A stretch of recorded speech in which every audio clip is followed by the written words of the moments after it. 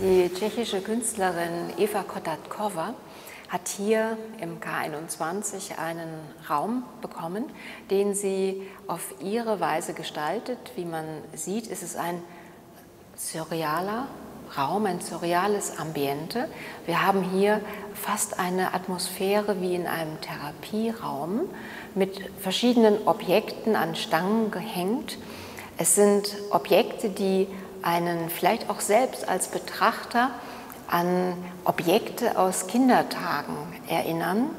Da sind alte Kochtöpfe, da sind eigenartige Gestelle, da sind Waschgeräte von alten Waschbottichen und alles zusammen, aber hier in einem Rahmen, wo man merkt, es geht um Erziehung, es geht um Körperformation, Deformation, aber es geht auch um geistige Formation, um darum, wie man Kinder, und hier findet man immer wieder in den Collagen auch Kinderabbildungen, wie man ihnen eigentlich beibringt, erwachsen zu werden. Und die Methoden, die man dafür anwendet, die sind höchst eigenartig. Und dieser Raum für besorgte Objekte, so heißt der Titel dieses Raumes, beschreibt das genau.